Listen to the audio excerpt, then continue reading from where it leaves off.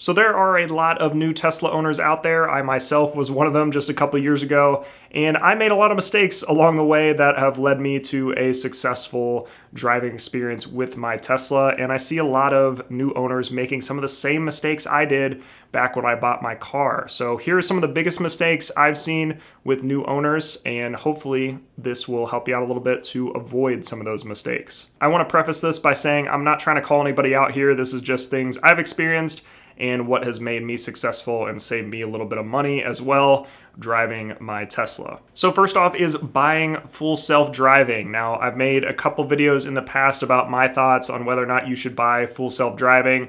But in my experience, I really don't think it's worth the $10,000 cost right now to upgrade to full self-driving on a brand new Tesla. All Teslas come with standard auto- autopilot with the purchase price of the car, so you are getting all of those basic autopilot features. Full self-driving just adds a couple more that can make it a little bit more convenient but in my opinion, if you're switching from a car that just has cruise control, autopilot is going to be an immense upgrade. And I think that $10,000 is probably better spent elsewhere. When I bought my car, I was looking at buying full self driving, but when I did the analysis, figured it was better to spend that money upgrading to a longer range Model 3 versus the standard range and not opting for full self driving. Now, along the way, I have added enhanced autopilot which I will say is a good purchase, but Tesla doesn't currently offer that. So I was able to get enhanced autopilot for $4,000, able to add navigate on autopilot, summon, but honestly, the feature that I use most often is just auto lane change. That's been the most valuable feature out of that entire feature suite. And I think a lot of people that end up buying full self driving, that's probably the feature they use most often as well. So I think with the features that are included in full self-driving right now, I don't really think it's worth it at that price. So second here is buying the full-blown Tesla wall connector. Currently it retails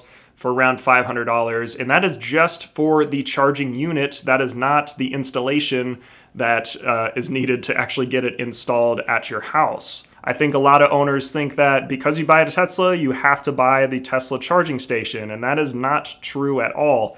You could actually just install a higher amp outlet in your garage and Tesla sells a $35 adapter for the mobile connector that's included with the car that can charge your car much faster than just using the wall outlet. This can definitely save you a lot of money because that cost of the charger is $500 where that money could be spent paying for the installation of that higher amp outlet versus paying for installation and a full-blown wall connector. So there are some differences between the wall connector and the mobile adapter that comes with the car. The wall connector is definitely gonna be faster in terms of charging your car, but honestly, that charge time doesn't really matter if you're just gonna be plugged in overnight. It's really a difference of whether you want your car to be finished charging in the middle of the night or in the morning right before you go to work. I did do a video on the NEMA 14-50 installation and what's involved with that with my friend Daryl over at Newcomb384.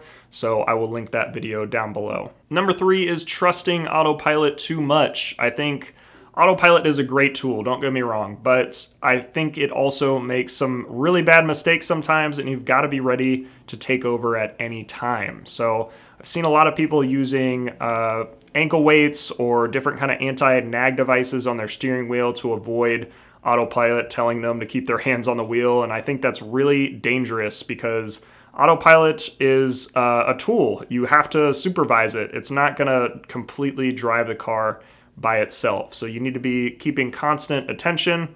I know it's been great for me since I've owned my car, but I've also had some bad experiences of it slamming on the brakes randomly in the middle of the highway and I had to take over. And I also had an experience driving on a country road that didn't have the lane lines uh, it drawn very well. So it actually pulled off onto the side of the road and almost swerved us off the road. So definitely better to keep your hands on the wheel at all times. Be ready to take over at any time because it can do things like that and you've got to be ready for it. Number four is parking right next to somebody at a supercharger. So most of the superchargers out there actually split power between uh, like numbered stalls. So if you're in stall 3A and somebody pulls up and parks in 3B those two stations are now going to split power and you're going to see your charge rate reduce. And you may have experienced this if you just bought a Tesla and were at a packed supercharger. There's not much you can do in that situation, but if you are pulling up to one that doesn't have a lot of people parked at it, try to leave some space from the person next to you so that power doesn't get split. Luckily, Tesla has gone to dedicated power cabinets and uh, dedicated charging for each station with their V3 superchargers. But for now, it is probably best to leave space anyway and be a considerate neighbor when you are charging your car. Number five is going along with the supercharger theme here, and that is charging all the way up to 100% at a supercharger. Personally, when I'm on the road, I do not like sitting at a supercharger for too long, and I only charge up as much as necessary to make it to my destination and usually leave about a 15% buffer. So when you're on the road and you, especially if you're making multiple supercharging stops, it's not a good use of your time to charge all the way up every time you get to a new supercharger. It's best to just charge up enough to make it to your next supercharger and then get on the road and keep moving. There's a couple reasons for that. First off is just saving time when you're on the road. You don't want to charge up more than necessary and waste time just sitting and charging your car.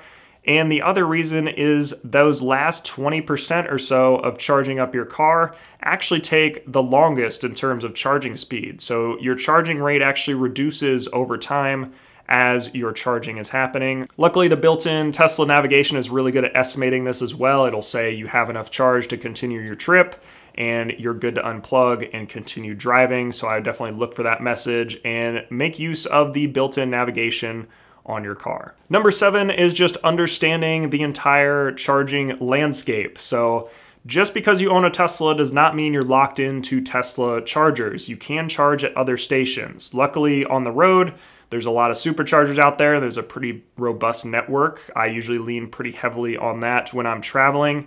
Uh, but there's also a lot of level 2 chargers out there that are slower chargers but can still get the job done if you're stopped and parked for a few hours or you're out to eat or something like that. And that is standardized. So most of those stations use the J1772 plug, which uh, an adapter came with the car to use these stations. So you can use non-Tesla level 2 stations.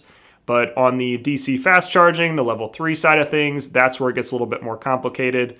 I'm not going to get into all that right now, but just know that most of the time your Tesla cannot charge at these stations. So I will link my EV Charging 101 video down in the description if you want to learn more about that and the other charging options that are out there. Number eight is driving too fast. And I'm not trying to be uh, a speed police here and tell you to slow down, but I will tell you that driving slower or driving around the speed limit is going to be most efficient, especially if you're on a long drive. So if you are used to going 80 miles per hour in the 70 mile per hour highway that you usually drive, it's not going to be as efficient and you're going to waste a lot more battery getting to where you're going than you probably would in your normal gas car.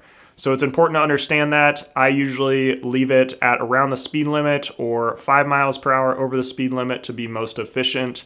And that doesn't mean that you can't drive fast, you certainly can and just understand that it's going to use more battery and make sure that you are planning for that and leaving a good buffer so that you're not arriving somewhere completely out of battery because you drove too fast. I was actually driving today and was running very low on battery and the car will actually tell you to keep it under a certain speed so that you can make it to your destination. So luckily the car is smart enough to tell you about that but it's best to just keep your speed at a reasonable level so that you aren't running out of battery or burning more than usual. Number nine is worrying too much about the miles remaining range display on the Tesla touchscreen and in the Tesla app. I think too many people get caught up in this number worrying that their car is losing a bunch of range or they're going through a lot of battery degradation or have issues with the battery or something like that. But I will tell you that over two years of living with my car, when I first bought it, it was showing 300 plus miles of range, and in the winter, it's dropped down to like 270 miles of range. But then in the summer, it bounces back up to 300. So it fluctuates all the time depending on the environmental conditions, my driving style, just a lot of different factors that play into it. It's not completely based on the battery health. And honestly, I've gone as far as switching my car off of miles onto percentage mode. So I don't even see miles or miles remaining anymore when I'm driving. I look purely at percents and just look at how much percent I'm going to arrive with, how much I'm leaving with, and plan my trip around that. I think the car uh, navigation is really good at estimating what percent you're going to arrive with. And I like to use that as a gauge of if I need to stop the charge or not when I'm traveling somewhere. And last one here, number 10, is not waving at fellow Tesla owners. I always like waving to people, fellow Tesla drivers driving around the city here in Columbus and I am not getting a lot of waves back anymore. I'm kind of upset about it, honestly. Uh, figured this would be a good platform to announce that to everybody and let everybody know that you need to wave back when somebody waves at you in your Tesla driving around. So hope to get some waves from all of you uh, if you see me driving around. And if I missed anything here, definitely let me know down in the comments below. I'm sure I did. Let me know what you've learned if you are a long-term Tesla owner and hopefully help out some fellow viewers here. So thank you so much for watching, and I will see you driving around.